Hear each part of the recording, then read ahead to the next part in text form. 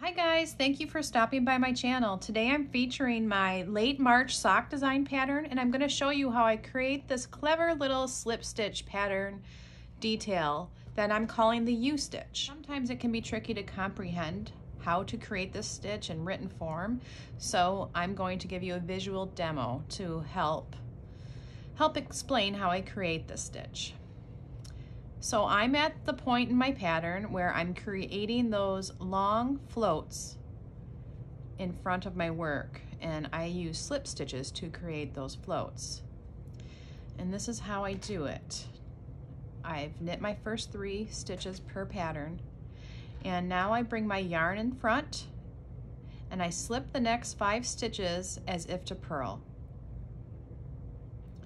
Then I take my yarn to the back and knit the next two stitches. That gives me this long float in the front. And I'm going to do that again. And a trick for keeping this float nice, the tension nice on this float, not too tight or not too loose, is to imagine like you're doing color work knitting or Fair Isle stranded knitting. And I spread my stitches out on my right hand needle to give me the just the right amount of real estate that I need to keep that tension nice on that float. So I'll show you what I mean. Uh, I bring my yarn to the front, I slip the next five stitches purlwise, and then I just make sure my stitches on my right hand needle are spread out, give them some space, bring the yarn to the back without pulling too tight, and knit my next two stitches. That gives me that nice float there. I'm going to do that, create that float two more times on this row. Knit two, and here I'll do it one more time for you. Bring the yarn to the front, slip the next five stitches as if to purl. Spread my stitches out a touch, bring my yarn to the back, knit my last three stitches on this needle. That will give you this long float and in a couple more rounds I will do the U-stitch which will pick up that float and give the pattern this look. I've knit a couple rounds and I'm at the point in my pattern where I'm going to be making that U-stitch to pick up this float. So per pattern, I'm going to knit five stitches.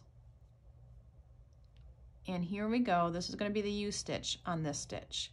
I take the needle from front to back under the loose strand and then I knit the next stitch and then I bring that stitch out and under the strand and off the needle. And I'll knit the next two stitches here. And you can see how that float was picked up. And I'll show you that a few more times. So I'm going to knit a couple stitches, come to my U-stitch.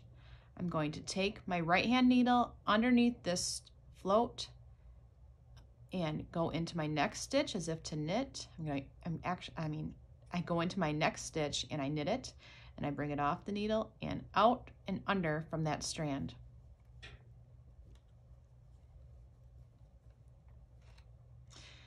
I'm going to go into the next couple stitches here, just knit across.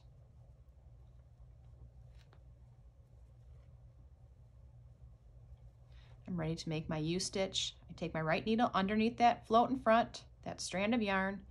I knit the next stitch, bring it out, bring it out under that strand and off. I'll do that again. This is the last time for the round here.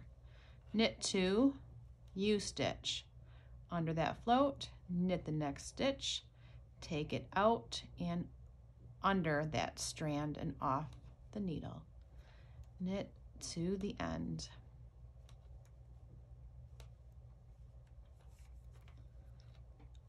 That little trick gives you this cool effect. It's a precious little stitch and it's actually way easier than it looks. Thank you very much for watching, for coming to my channel. Thank you for your support, and I hope you knit a pair of late March socks. Thank you.